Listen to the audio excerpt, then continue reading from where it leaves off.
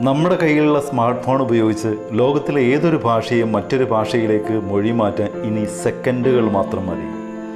ഏതൊരു ഭാഷയും മറ്റേതൊരു ഭാഷയിലേക്ക് മൊഴി മാറ്റാൻ വെറും സെക്കൻഡുകൾ മാത്രം.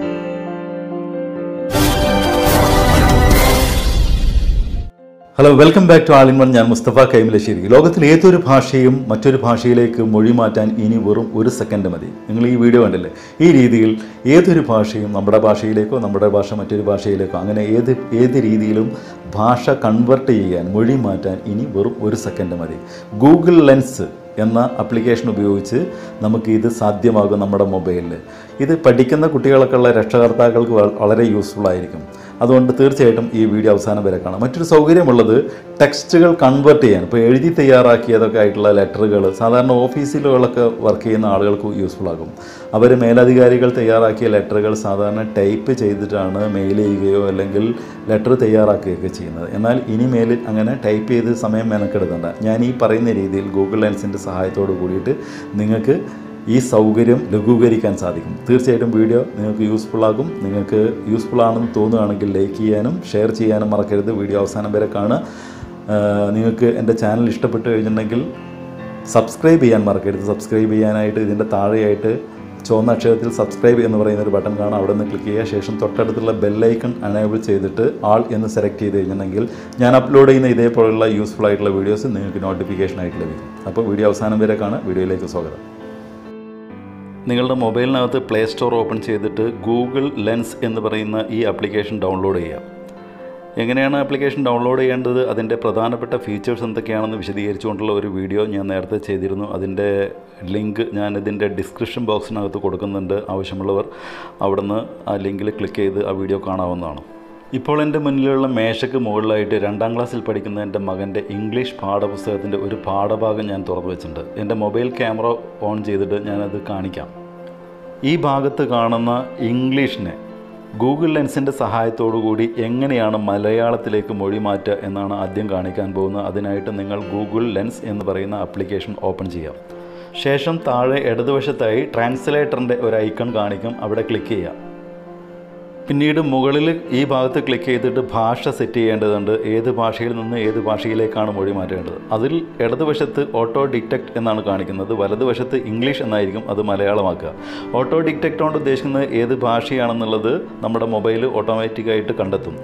നമ്മളിവിടെ ഇംഗ്ലീഷ് എന്നുള്ളത് ഞാൻ നേരത്തെ മലയാളമാക്കിയിട്ടുണ്ട്. നിങ്ങളത് മലയാളം സെലക്ട് ചെയ്യണം. അതിൽ ക്ലിക്ക് ചെയ്തിട്ട് മലയാളം സെലക്ട് ചെയ്യാവുന്നതാണ്. ശേഷം താഴെ അപ്ലൈ എന്ന് പറയുന്ന ഭാഗത്ത് ക്ലിക്ക് ചെയ്യാം ക്യാമറ ഓപ്പൺ ആകുമ്പോൾ ഞാൻ മൊഴി മാറ്റേണ്ട പാഠഭാഗത്തിന് നേരെ മുകളിലേക്ക് ഇതേപോലെ ക്യാമറ കൊണ്ടുപോകുമ്പോൾ അവിടെ കൃത്യമായിട്ട് അത് മലയാളത്തിലേക്ക് മൊഴി മാറ്റുന്നതായിട്ട് നിങ്ങൾക്ക് കാണാൻ കഴിയും. ശേഷം ഈ ട്രാൻസ്ലേറ്ററിന്റെ ഈ ബട്ടണിൽ ക്ലിക്ക് ചെയ്ത് കഴിഞ്ഞാൽ അതിങ്ങനെ ഫ്രീസായിട്ട് നമുക്ക് യഥേഷ്ടം വായിച്ച് മനസ്സിലാക്കാൻ പാകത്തിൽ നമ്മുടെ മൊബൈലിൽ നിൽക്കുകയും ചെയ്യും. വളരെ യൂസ്ഫുൾ ആയിട്ടുള്ള ഒരു ആപ്ലിക്കേഷനാണ് മൊഴി മാറ്റാൻ ഏത് ഭാഷയും ഏത് ഭാഷയിലേക്കും മൊഴി മാറ്റാൻ ഈ ആപ്ലിക്കേഷനെ കൊണ്ട് സാധിക്കും. ഇതേപോലെ എന്റെ കമ്പ്യൂട്ടർ സ്ക്രീനിൽ ഞാൻ ഓപ്പൺ ചെയ്തിട്ട് ഒരു ഹിന്ദി പാഠഭാഗം എങ്ങനെ മൊഴി മാറ്റണം നോക്കൂ. എത്ര പെട്ടെന്ന് സെക്കൻഡുകൾ കൊണ്ട് നമുക്ക് ഇതൊക്കെ മൊഴി മാറ്റാൻ കഴിയുന്നു.